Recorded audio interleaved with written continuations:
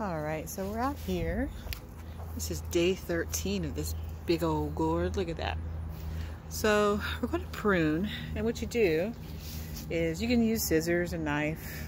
I got these from Family Dollar or Dollar General or whatever. But you're going to prune leaves that are yellow.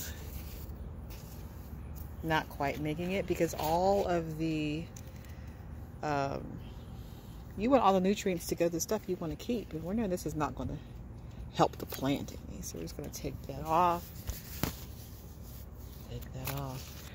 Um, there's plenty more here, but you're also going to prune off the gourds when there's too many on one vine.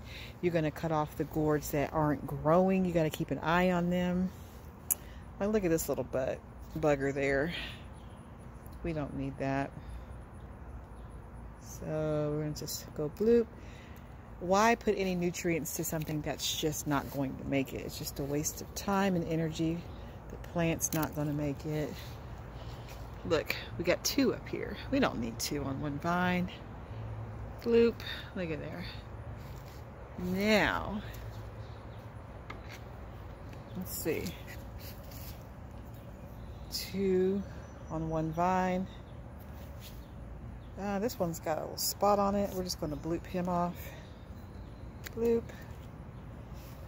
Um, ooh, look at this one. That's another good one there. Yeah, baby.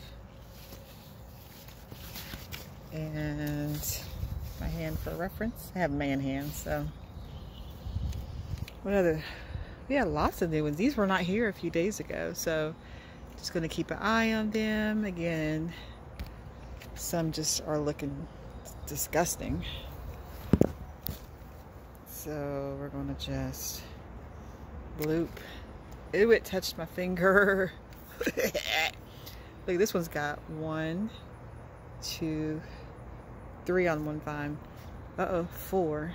Now, I don't know what the rule is, but I figured you have one per vine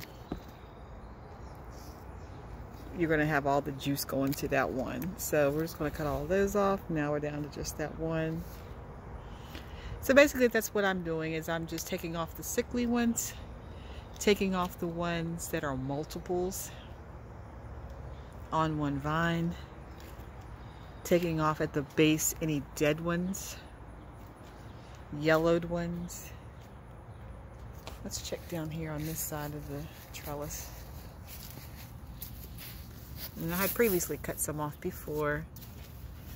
But that's it. Happy gardening, my friends.